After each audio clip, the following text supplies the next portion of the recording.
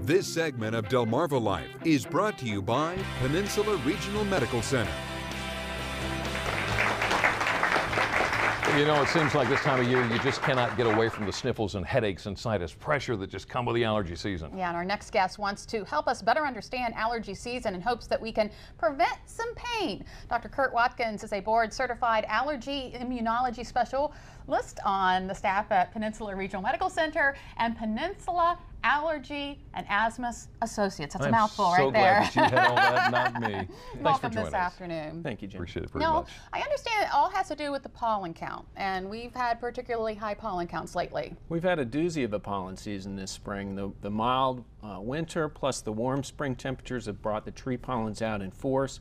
It's the highest pollen counts we've seen in a few years. Wow. And it's because of the warm weather?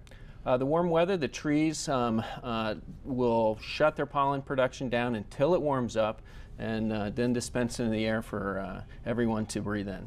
Yeah. So with an earlier warm weather year this year, The, the pollen counts are very weather dependent and it can shut down quickly. The, the cold weekend uh, nor'easter we had uh, brought the pollen counts down. Yeah, But a they're lot back of up people. again, I know a lot of people were thankful for that. So, uh, those dealing with the symptoms, what do you suggest?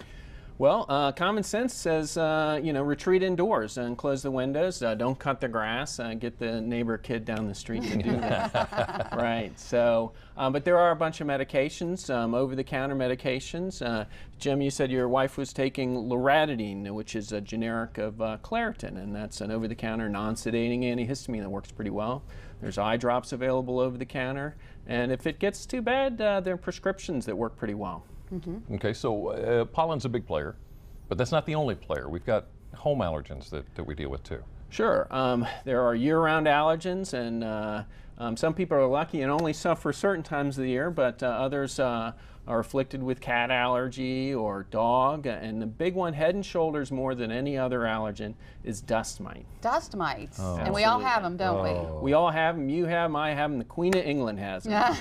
she has a lot. Her bed is very old. Yeah. so, what, what, what can we do to possibly uh, get rid of the dust mites, or at least not have so many?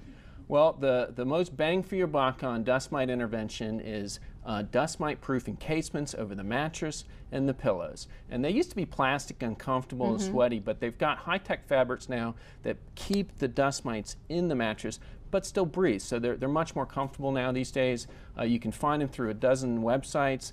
Um, they're available at Walmart, um, and uh, uh, you put them on your mattress, you put them on your pillow. It stops the dust mite from getting into your nose, into your eyes, into your lungs too. The, uh, the pollens and dust mites aggravate asthma as well as nasal allergies. Wow. So, uh, got a lot of companies that are trying to sell this, this stuff to clean our air indoors. Uh, Does that really work? Can we really do that?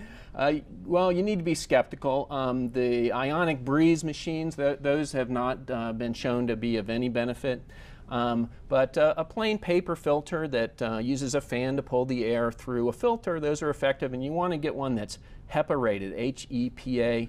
It's an efficiency rating. Now, I understand there are things that we put in our house on purpose that Like a are cat? Like, well, yeah, like the animals, but I mean, like air fresheners and candles. Yeah, the scented candles, the, especially the burning candles, uh, put uh, irritants into the air. Uh, cigarette smoking is really terrible for indoor air quality. Um, so if you're suffering from allergies or respiratory conditions, you know, think about the things that are going into your air and uh, remove the easy um, items. Um, if you have a smoker in the household, um, invite me over. I'll beat them upside the head for you. But uh, short of that, maybe just kick them outside. Yeah, sounds like a good plan. Thank Direct you so- approach. Thank you so much, Dr. Kurt Watkins. Thank you for coming in. If Appreciate you would it. like some more information on how you can lessen your symptoms this allergy season, or to get in touch with Dr. Kurt Watkins, go to delmarvalife.com and click on the show tab. Well, now that the temperatures are reaching into the 70s and 80s, many of us are switching on our car air conditioner. But what happens if it's not cooling the way it did last summer? Well, still ahead on Delmarva Life. What you should do to make sure that your car cooling system is ready for a long, hot summer, plus other warmer weather TLC your car needs. Delmarva Life, life at its best here on Delmarva.